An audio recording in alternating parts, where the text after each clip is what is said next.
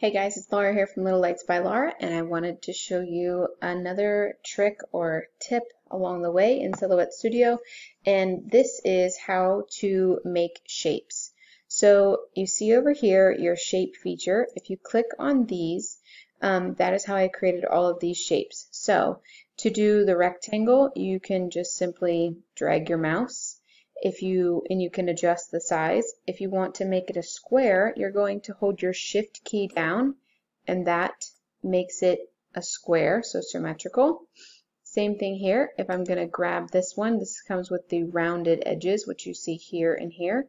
To make a rectangle, I just pull and you can adjust the depth, if you will, of the rectangle or rounded corners rather.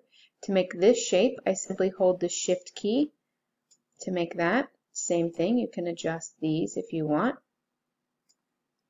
Go over here, choose my circle. To make the oval, I simply just drag it, make it however I want it to be. You can make it a circle by this, but to make it more perfect, if you will, you're going to hold down your shift key. I'm clicking it now on my keyboard and drag your mouse with the shift key held the whole time. Sometimes you'll catch yourself and you have to remember to hit the shift key and keep it held otherwise you will get that lovely shape. And then on this one um, this you don't need the shift key but simply by spinning my mouse in my hand is how I'm altering that. Um, and so that's quite simple or you can come up to the mouse and once you have this you always have this green dot to twist your shape as well. So super simple um, now, what for, for me, what I use most frequently is, and you guys have seen this in my other videos, I will hold my shift key and I will make, whoops, see how that went crazy? I use this all the time to make polka dots. And I will make them all different sizes. Um, ah, I'm letting go of my shift key too soon, which is why that's happening. So I use this all the time to make polka dots. Once I've made a couple, I'll just right click and duplicate and get plenty of them. Um, I'll kind of give you guys a two for one in this video. Um, I'm going to show you how to um, add polka dots with um, removing them. So let's say you wanted to do like just like a fun first initial. I'm just going to do something very simple to show you guys. And I just posted a video about my most commonly used tool, the offset tool. I want this to be nice and thick, so I'm going to go with that. I'm just going to color it in so you guys can see what I'm doing. Now, if I were doing this with vinyl, maybe I would, um, and I want to make some polka dots cut out from this letter, you see how when I drag the polka dot back there you can't see it? It's not very helpful. I'm going to right click and I'm going to send my L to the back and then I'm going to place my polka dots on top and I'm just going to stagger them sporadically because polka dots are all over the place and different and I know that I need more smaller ones so I can just right click and duplicate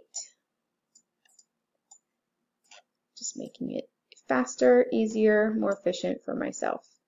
Okay, now I'm going to, I'm going to zoom in and show you guys this. So first thing I'm going to do is I'm going to um, select my L with my polka dots and I'm going to right click and I'm going to duplicate it and I'm going to move everything over here and you'll see why in a second. Then I'm going to go back. I'm going to select everything again. I'm going to go up to Object, Modify, subtract. Now it has taken out my polka dots from my L. So if I wanted to put this on a t-shirt for say, um, then I would get to see the color of the t-shirt behind the letter L.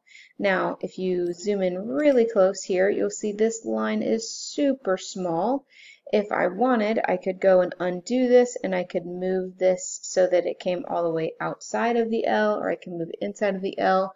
Um, personally, I would not want that thin of a line in any type of vinyl, whether it's heat transfer or um, Oracal 651 or 631. Personally, that's just too close for my liking. So you can kind of change it one way or the other. Now, the reason why I duplicated this over here is because sometimes if you don't um, have them layered correctly and you go into modify and using the subtract feature, um, sometimes you will lose your L and you'll just be left with the holes. So just to be safe and not create frustration, it's always wise to duplicate what you're working on first, just as a precaution, just to alleviate some potential anger. So there you go. That's how I use shapes using my Silhouette Studio and fun polka dots, which is what I most commonly use the circle feature for. I hope you guys like this video. Don't forget to like and subscribe to my channel.